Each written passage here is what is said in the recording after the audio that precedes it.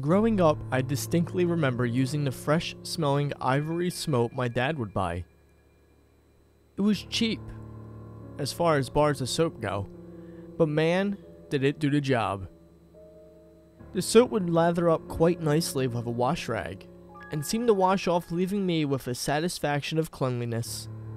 Don't get me wrong, I've tried other soaps throughout my life, but they always seem to leave a film over my skin. Into my adult life, I continued to purchase the same ivory soap my father ingrained in me. That is, until I met my lovely girlfriend, Suzanne. About a year ago, I met Suzanne. She was stunning from head to toe. The first time I met Suzanne, she was wearing a beautiful red dress.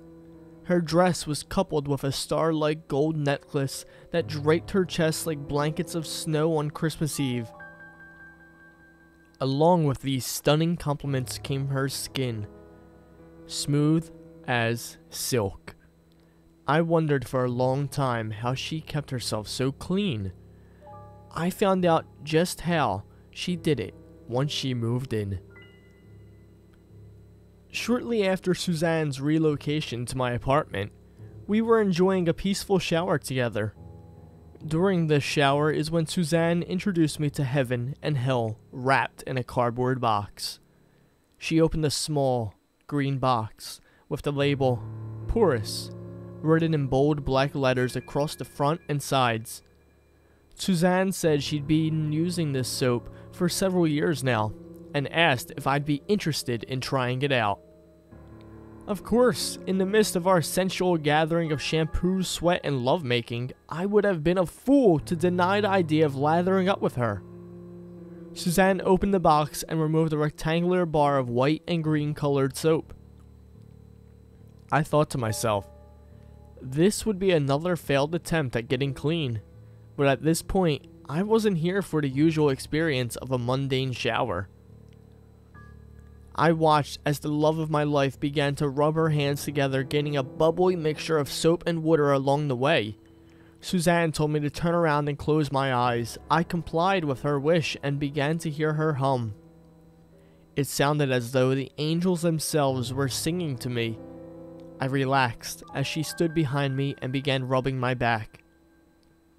Immediately, I felt pleasure as if the weight of my entire life had been lifted from my shoulders. It began with a warm feeling, warmer than love I felt for Suzanne.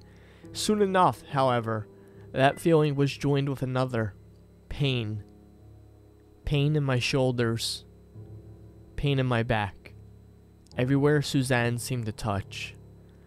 The pain, it was dull, almost ignorable, especially when coupled with that beautiful warmth Suzanne whispered in my ear, Turn around, but keep your eyes closed.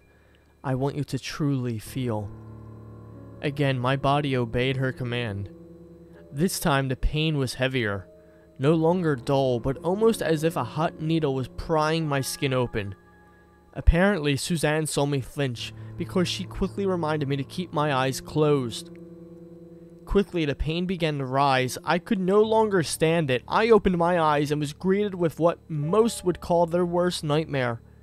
The pores all over my body had been opened up several millimeters wide. My pores were large enough to give me the appearance that I had been peppered with a buckshot. Suzanne clearly saw the horror strewn across my face and began to beg that I relax. She said that if I don't relax, then the eggs won't settle. I began to panic as those words raced through my mind, rapidly failing mental infrastructure. Suzanne began to hum again, and I could feel my body shudder with orgasmic goosebumps. I looked my love in the eyes and asked what was happening to me. Suzanne told me she just wanted me to be like her. She wanted me to experience heaven and hell. I looked down at my now shotgun painted skin suit. The holes looked beautiful under the dim bathroom light. Even now, I can see they are closing up to their normal size. Soon, the pain began to subside, but the pleasure remained. I asked Suzanne what the eggs contained. Suzanne expressed that I would find out soon enough. I only need to wait till morning before I will be greeted with the joy of heaven. She said I've already experienced the hell of it. I relaxed as Suzanne's hymn continued to envelop my world. I no longer use ivory soap. In fact, I no longer clean my body at all. Porous is all I need in my life. I love the gift I have been given. As I sit here and write this, I see a small transparent appendages escaping through some pores on my arm. Suzanne was right. Heaven is here.